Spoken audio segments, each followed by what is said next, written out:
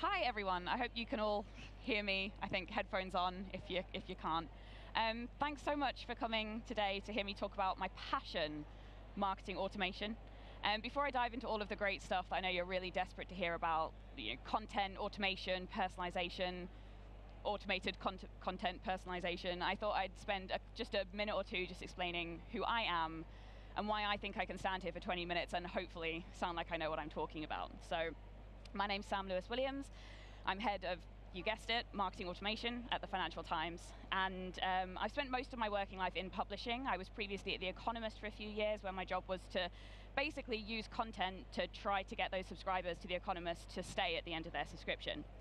But now I'm working at the Financial Times, um, which, if you don't know, it's a daily paper published in broadsheet and digitally. We focus mainly on business, economics, current affairs, that sort of thing. Um, if you're not sure, we are the only paper in your local Tesco that is published on pink paper.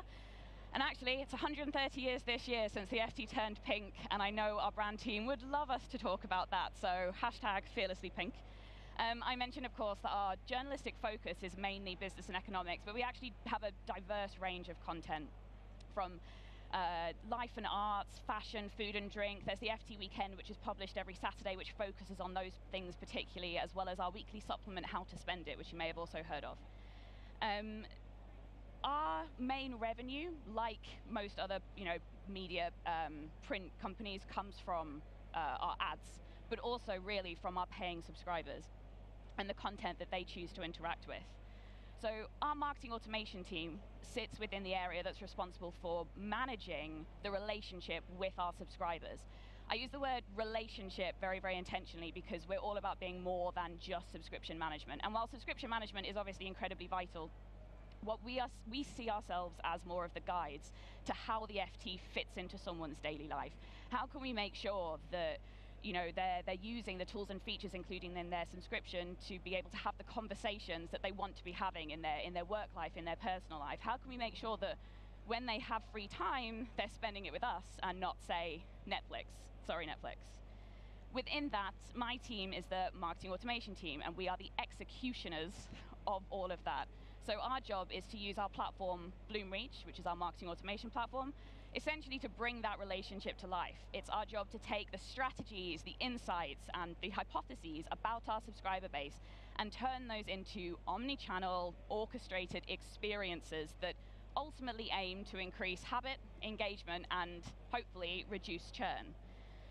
So it won't surprise anyone here, I hope, that there's a, a correlation, and we know there's a correlation between habit engagement and someone's reduced likelihood to churn. And we also know that our content and the diversity of our content is kind of the key way to engage our subscribers.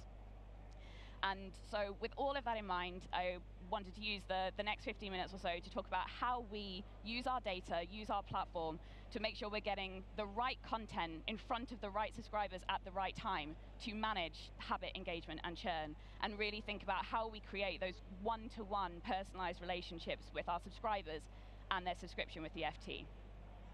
So to set the scene, here's our challenge. The Insights team has let us know this fact Essentially, subscribers who visit FT.com twice weekly at least are about 20% less likely to churn. So that's great, that's really interesting. We can do something with that. We know from our previous campaigns and tests and learnings that we've run that our personalized content is the way to drive people to site. So we know we want to get people to site twice a week, more than twice a week, using the articles published on FT.com. Fantastic. So we're probably thinking something like an email campaign sent, well, twice a week, I guess, to subscribers who are reading less than twice a week, and with a nice selection of, I don't know, five or six articles that will drive them to site and make them read. Okay, let's do that. But here is where the fun begins.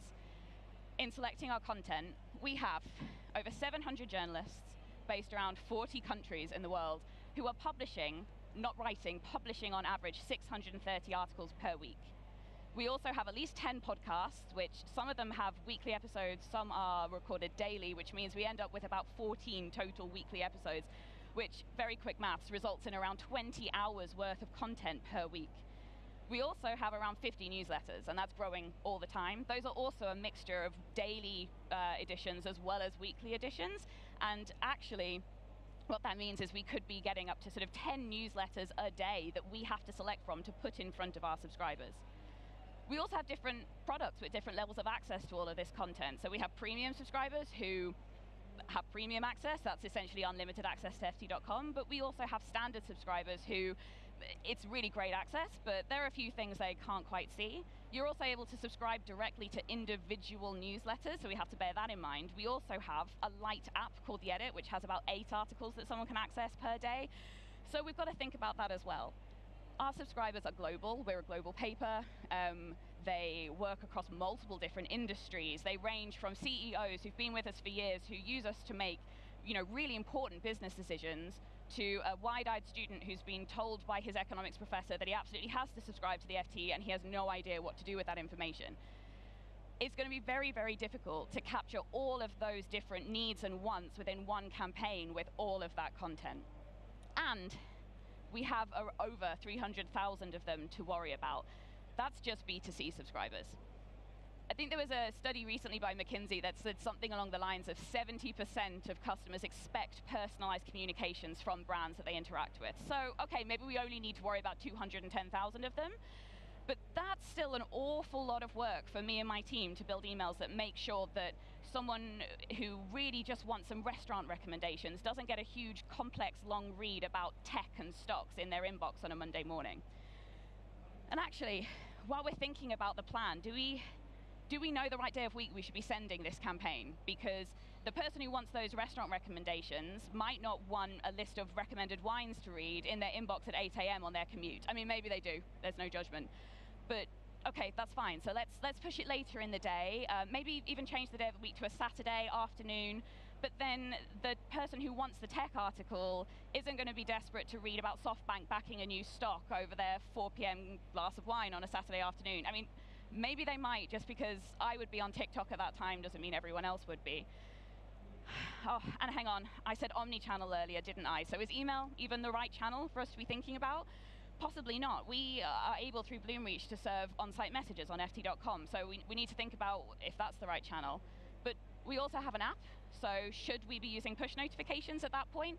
And actually, on top of that, we also have a great customer care team who often do outbound calls to our subscribers recommending how they set up their subscription and different content to read. So maybe we also think, need to think about using outbound call as its own channel. And basically what I'm trying to say is that it would be impossible for our team to manually put together and curate emails that are personalized enough for all of these different customers who have all of these different needs from, from the FT. So what do we do? How can we automate our content, but also make sure it's content that people actually want to read? Well, big surprise, it's data, which is probably the answer you expected. We collect and collate so much data about our customers at the FT, and we think about it in two different ways we have our customer attributes and our customer events. Attributes is it's demographic data. It's stuff that has one answer, and it's the stuff that people tell us. When I say one answer, I mean someone can be based in APAC and they move to the US, but they can only be in one place at one time. And when someone signs up to a subscription or becomes a registered user, we make them fill in a form that tells us all of this stuff their region, their industry, their title, their position that basically gives us a very generalized idea of who this person is but that's just what they tell us. We try to complement that with our tracked data, which is our, which is our customer events. These are things we're tracking and following across our website, across our campaign, across our app. And these things can have multiple answers and multiple layers of information within them. For example, someone could be signing up to a newsletter whilst unsigning up from one they were uh, they were reading before, whilst also trialing a new one. And we're also capturing the time of day that they're doing it. We're capturing, um, you know. Uh, the different topics within that that they're potentially engaging with. And that allows us to layer that on top of our tech CEO based in London and tell us a bit more about who they are and what they're reading. And for me, that's the kind of first key step in unlocking what content people actually want to read, and that's not relying on what people tell you they want. Prime example, I love BBC Good Food. I'm a really, really loyal subscriber, and every single time they ask me what I want to hear from them, I tell them, you know what? I want to learn about healthy meal prep. I want to make sure I'm, you know, fed and fueled for the week ahead, and I want to be really healthy and organized. But if you look at my uh, reading history, it's mostly cake. And realistically, if they're going to put an email in front of me, I'm going to click on the cake one, despite telling them that that's what I want. If we bring that back to the FT, um, and we think about what our readers' habits mean about them, when people sign up, they subscribe for our superb business and economics content. But actually, if you look at our website visits on a Thursday, when our life and arts content is published, we get a huge spike. And columns like Globetrotter, which is a really, really great, would highly recommend, city break type column, has a huge readership. So actually, that person who thinks they just want tech content, tech premium columns, and tech newsletters is actually probably using us just as much to plan their weekend and may not even realize it. So what do we do with all of that information? We can't believe people when they tell us who they are. So, nope, sorry, skipped a slide. We think about data science and how we use that. We work very, very closely with our data science team. I think if you ask them, they would probably tell you that we are constantly bugging them for new things for them to build. Um, and I think if you ask us, we would say we're constantly giving them new opportunities to challenge themselves because we love a data science model to do the heavy lifting for us. We use our data science models to answer particular customer questions or address particular challenges. Some examples, our next best action model, one of my favorites. Um, basically, we figure out what is the next best thing for one of our subscribers to be doing, whether that's reading weekend content, whether that's signing up to a newsletter, reading a topic, reading a particular journalist, following us on a social media channel. That data point will appear in the customer's profile on Bloomreach, and we can use that to segment and target, but also personalize any communications that they get. We also have other things predicted to churn. That's what it says on the tin. We figure out if a subscriber is looking like they might be about to cancel. Predicted to disengage is the step before that. We look at people who are currently engaged and we think about all the behavior that might indicate they might be dropping off the cliff a little bit. And finally, we have clustering models, which we can apply across our, our whole life cycle. They're glorified customer profiles, but again, they're a data point within Bloomreach that allows us to say, well, if someone falls, if someone's a new trialist and they fall into cluster four, we know they're X percent likely to finish their trial and they're X percent unlikely to do this during the course of their trial, and so we can address that with the communications that we put in front of them at that point. So once we've kind of got all our data together, we start getting really, really organized. We have to, we still have to figure out what four or five articles of the 630 we have to get in front of those individual 300,000 subscribers. So we think about three things, segmentations, triggers, and content alignment. So starting with segmentations, we use our platform, Bloomreach, uh, to basically collect and manage the data for us. In this instance, we might think about, say, the top 10 things that we want to understand about the customers who are most likely to get this campaign and we'll make sure that those things we're looking at are a mixture of those events and those attributes so that we get that holistic picture of a subscriber. We might think about things like whether or not they've commented on an article, their job title, their region, but also things like when was the last time they opened a newsletter? When is the best time for them to receive an email from us? Who's there a particular journalist um, or topic that they really, really, really love to follow? And then we can, within Bloomreach, layer those segmentations on top of each other and create numerous customer profiles that allow us to be super, super personalized in terms of who we're picking up and when. So then we start thinking about when we trigger stuff. So let's think back to our original challenge. I said twice weekly, right, for a campaign, but actually that's just how often we need to get people to site. That's not necessarily how many emails need to arrive in their inbox every week, right? So instead, um, what we'll think about is what are the moments in their life, their daily life with the FT, where we can jump in with something that will get them to come to site. So we probably started with something like this, where we'll have an email that gets sent on a Monday, sends them a nice content roundup, and then we'll go, okay, well, then later on in the week, we're maybe not sure what the best day is to send some weekendy content to drive them to site, so we, we might do an A-B test between like a Thursday or a Saturday send.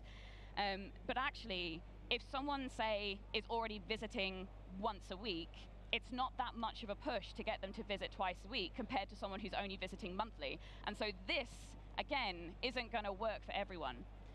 What we're trying to do is not guess the best day of the week to send a communication. We want to make sure we're actually hitting the customer at the point where it's going to be impactful and hit them ideally on the channel where they are most likely to then engage with that content. So we'll think about things like this. Maybe someone has just slipped from visiting twice weekly to only weekly now, and we can jump in at that point. Maybe someone is on site right now and they're organically signing up themselves to a newsletter or following a topic. So that would be a really, really great time to target them with a com while they're still warm and active and doing something on FT.com. Finally, maybe someone called customer care with a question about the app. Maybe they're asking how to download it or how to do something specific in there. So if we know they've had that phone call, maybe that's the time to jump in and say, oh, well, maybe you want to know a little bit more about the app, right? So if we've got an idea of when we want to jump into people's lives when we talk to them, we also then need to start thinking about what content we align with all of those different areas. And this is where, after all that, I am going to cheat a little. So I mentioned our data science team and uh, all the great models they build for us, and we also have a really, really great model called our depth versus breadth of reading model. Essentially what that does is it figures out whether someone should be kept on reading the same content or the same topic that they're already engaging with, because actually they really like that topic, it's going to keep them engaged, and if they keep reading just finance, that's going to be fine, and they'll keep renewing, fantastic. Versus someone who is maybe reading just a really, really niche article about a particular US company, and actually we need to make sure that they're introduced to maybe some tech, maybe some life and arts, maybe a podcast that's about world affairs, just to diversify their reading a little bit, increase that breadth, and get them engaged that way rather. But then we have to get that content into our emails. So we use an internal tool called a content feed builder. This is what it looks like. Um, essentially what we do is we create these what we call content feeds on the right-hand side that can be anything from a selection of world headlines, focus on a particular journalist, top 10 list of what people are reading, and we can build them ourselves with really, really simple queries that you can see in the middle. And each of those links out to something that looks like this, which is in the tool, and so what it produces for us is everything about that article that we can select and put into our emails. So the image, the stand first, the, the journalist, the date published, we can pick and choose what we want. I mean, we, we always include the title because people want to know what they're reading. But what we can then do is bundle all of that up and throw that into our campaign canvas, into something that is called a webhook that then flows into the email. And if we compile that with those breadth and depth and next best action models, we can be pretty confident that the article the subscriber is seeing on the other end is going to be super personalized for them. Essentially, we let all the data science and the automation do the heavy lifting for us. So let's look back at our examples from earlier, because now we have the beginnings of a plan. That person who's just slipped from visiting twice weekly to weekly, now we can jump in with an email that we fill with those segmentations and those models, and we can determine what articles to show them. So that's it, job done. But the person who signed up for a newsletter or followed a topic, actually, if we want to meet them where they are with something that's relevant for them, that's now starting to feel more like maybe an on-site message because we can point them at the journalist that they've just uh, who writes the newsletter that they've just followed and make sure that they remind them to follow that writer and that will start bringing them to site organically too. And finally, that person who just called customer care to ask a question about the app, well, that now seems like a push notification because if they're on the app and they're using it, we can meet them where they are, where they've just asked a question about. And again, complement that with our reading models and our content feed builder to make sure that what they what we recommend to them at that point is the most impactful uh, article that they'll see. Overall that though, we need to make sure we're testing and learning because we don't know if it's actually working until we start building it. I'm sure I'm preaching to the choir, but while obviously we'll be looking at things like our open rates and our click-through rates and our overall impressions, really what we're trying to figure out is are subscribers who are visiting ft.com twice a week actually less likely to churn? And are we achieving our goal in driving people to site twice a week? Um, there's a lot there, and there's a lot for us to start working on, so it's time to figure out how we actually make it happen. Because the truth is, if we tried to build all of that, plan all of the possible customer journeys out on a massive whiteboard or a Lucidchart, which we do try to do, that's going to take us six weeks to build, six weeks to, to create, and then we're six weeks away before we actually start to get an idea of, is it working?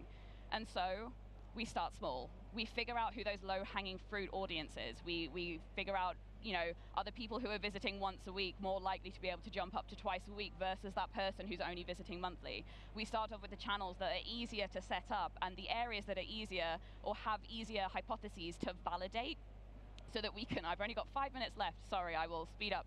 um, so that we can make sure, basically, that we know what's working and at the end of six weeks, what we end up with is something that looks a bit more like this, which is a spider web of different campaigns and experiences across the whole of Bloomreach that ultimately we can then say with a lot of confidence are driving people to site and are doing the jobs that they're meant to do.